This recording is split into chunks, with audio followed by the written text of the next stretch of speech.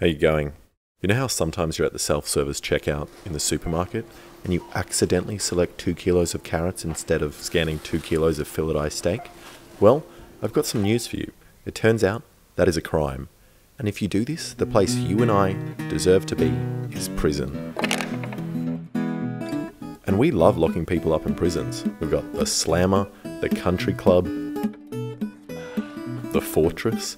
Across the world, there are over 10.3 million prisoners, which is more than the population of Sweden. Which is incredibly sad, but what's even sadder is that we haven't locked up Sweden. So, here are my top three prison hacks if you ever find yourself locked up for a crime you didn't really think was that bad. Oh, uh, and, yeah, and you're also in a prison that for some reason lets you watch YouTube.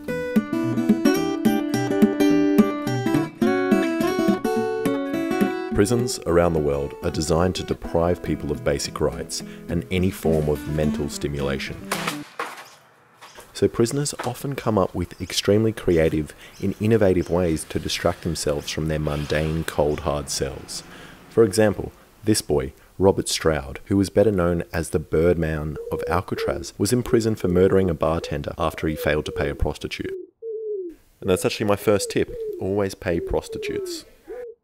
Robert was extremely fascinated by birds and experimented with them a lot, and eventually he found a cure for septicemia. Tip 1 How to make hooch. This first life hack isn't just for people that want to forget they're in prison. Whether you live in a remote Australian town in which alcohol is banned, or you're a college student who is into fermented stuff and also wants to get dangerously drunk, then this is the tip for you. So, the first thing you need are some oranges. You need a lot. Like, I want you to imagine you're a soccer mum that is slicing up oranges for her under 11 soccer team. Except they're actually the under 45s and they have a drug and alcohol problem. Oh, ref, this is bullshit. Oh, ref, my son hasn't received the ball in like five minutes. So grab your oranges and any other fruit you can scavenge, like an apple or a carrot for fun, because I've never heard of carrot alcohol before. And um, peel all of them. And it tastes better if you can get the peel off the orange in one go. Then chuck them in a watertight bag or some container. Next, grab anything with lots of artificial sugar, like these peaches in syrup, or this jar of artificial sugar, and dump in a good amount. I presume people in prison don't measure things, so I'm not going to either. And the last ingredient is bread. I don't really know why, but I assume it's because the people that wrote this list on the internet thought bread has live yeast in it, which I'm not sure it does, but I'm going to follow it. Now chuck it all in a bag and give it a good squish. And this smells and looks like I've had a big Saturday night. And I'm not looking forward to leaving this to ferment for a week and then having to drink it. So tuck it away in a nice warm spot, like under some towels or in the toilet. I'm going to keep mine in bed with me where it's nice and warm. Then make sure to check on it every couple of days and release some of the gas, giving it a good burp. Otherwise, the bag will explode everywhere, all over your new, nice Silk 200 fiber bed sheets. And of course, this isn't an instant reward kind of life hack. It's an investment, because after a week, you get a bucket of the most thirst quenching vomit you have ever seen. So just drain it through a sieve, and let's give it a taste test. Alright, here we go. So I thought we would drink this outside, which is a nice contrast from the kind of normal place you'll drink It's this. not a not a bad prison. Oh no, thank you. You've got me in. Thank you, thank you. Now, have you ever had prison alcohol before? Uh, not out of a wine glass. Not out of a wine Not glass? out of a wine glass. Okay, Last time I nice. had- Well, you're in for a treat then. You're in It's for a gonna be treat. Fantastic. Che- Do you cheese in Cheers. prison? You know, I think you do one of these ones.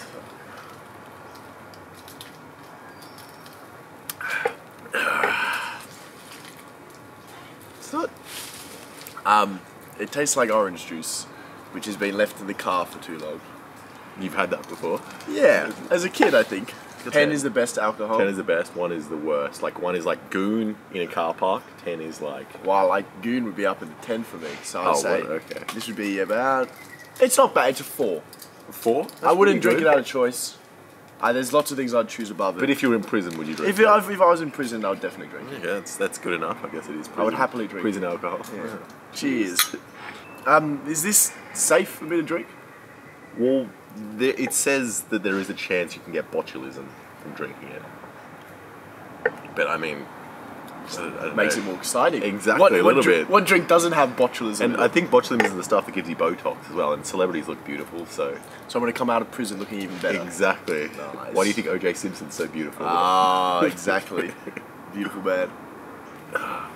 Do you think I don't want to drink anymore. No. And it is disgusting, but it's cheap, strong, and a good way to forget you're serving life without parole. And if you're in college, you could totally market this as some kind of magic fermented juice. You could call it Hoochie Mama and sell it for like $10 a pop. So there you go. Spread it around the prison yard and make some friends. So it turns out carrot doesn't ferment well in hooch, and you just gave half your cellmates the runs, and now you need a way to protect yourself. So this is the life hack for you. I'm going to be making this legitimate terrifying razor whip that was found around 1996 in Santa Fu jail in Hamburg, Germany. It was made by an inmate who was attempting to extort a higher methadone ration by threatening a female prison officer with it. So all you're going to need to make this death whip are the cheapest razor blades you can find, a shoelace, and a stick. And I really recommend taking the lace off the shoe before you tie on the razor blades. So I bought these El Cheapo razor blades as I thought this is what you were most likely to get in prison. Also, I'm cheap. So I'm going to break apart these men's single use razors and then attempt to tie the blade onto the rope. And this already seems like a stupid idea. Like, this is going to take a while. I got this from six razor blades. Like, how do you get this many razors? Do you just run around stealing all your inmates? That seems like a really great way to start a prison riot, filled with very angry, very hairy men. Oh, someone's gone and broken all the razors. Jesus Christ. This whole prison thing's so overrated. I fucking hate prison. So let's just tie them on in a similar fashion to the picture. And then tie it onto the end of the stick. And there you go. This is absolutely terrifying. I'm scared just holding it. Like, what happens if a breeze picks it up? It'll just slice through me. Although I guess you don't have much of a breeze in prison, so you- you're alright. Alright, let's test its damage.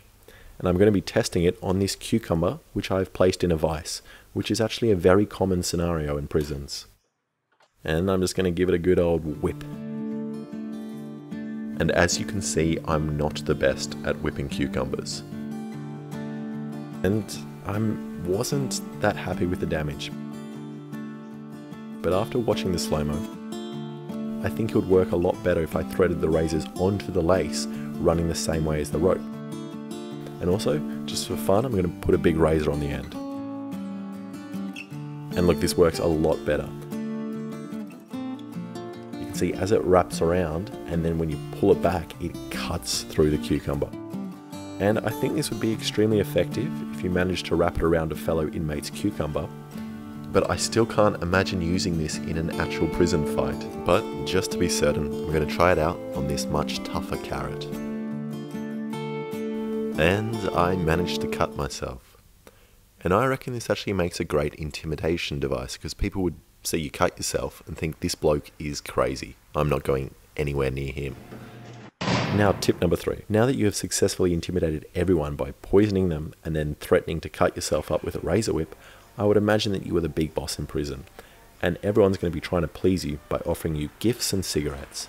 So, this next tip is for you.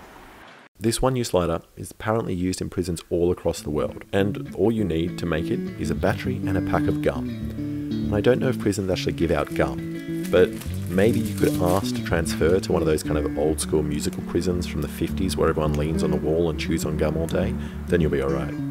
Alright, I wanted to use 5 gum because I thought it would be funny if I made a joke about chewing 5 gum and ending up in prison, but it was 50 cents more expensive than this one, and the joke wasn't that funny. So I think all we need to do is get the gum wrapper and cut it into a strip and place it across the positive and negative of the battery and then wait until it heats up.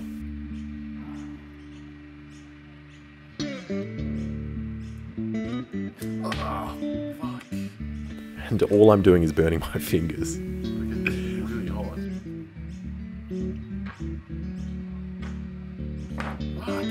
And I don't know how to do this.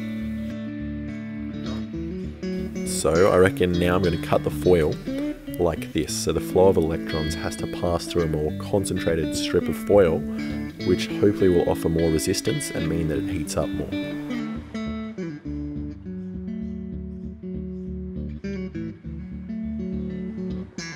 And I've successfully made a prison smoker, which hopefully means I get some fire.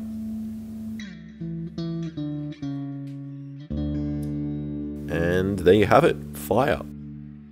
So there you go. Hopefully, with these hot tips, your next trip to the slammer will be a little more entertaining.